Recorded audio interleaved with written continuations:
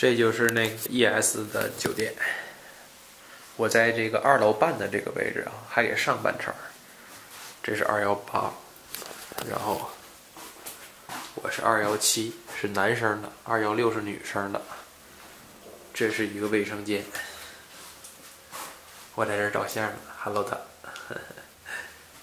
然后这是个小厨房。哎呀，大家可以看到我现在淌鼻涕，淌得很严重啊，因为这个昨天晚上在机场啊感冒了，感冒今天有带病去了趟滑铁卢，整个人就不行了。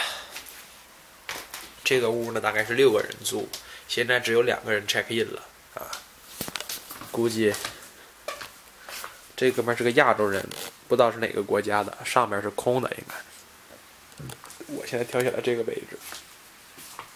这边有个小阳台啊，非常的好。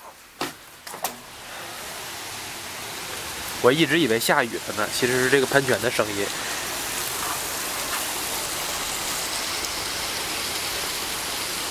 然后这边是个餐馆，从这条街呀往那边走都是中餐厅。现在是四点钟。然后呢，那边是一个集贸市场。那那边我还没有去，到底是什么我还没有不知道不太清楚。呃，这边总的来说呢比较荒凉，因为它是在这个火车站的位置，我可以给大家看一下。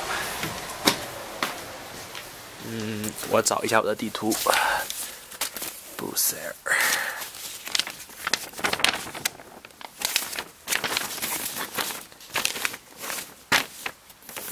这个是布鲁塞尔的这个城区啊。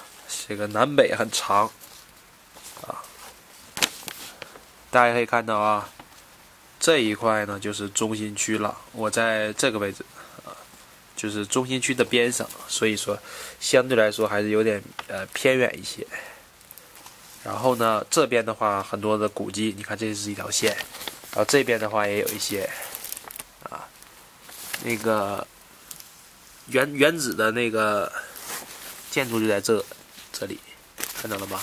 原子的那个，啊，哎呀，我的鼻涕又淌出来了，我得去清清鼻涕了。先录到这里吧，一会儿洗个澡休息休息，然后去布鲁塞尔市中心逛一逛。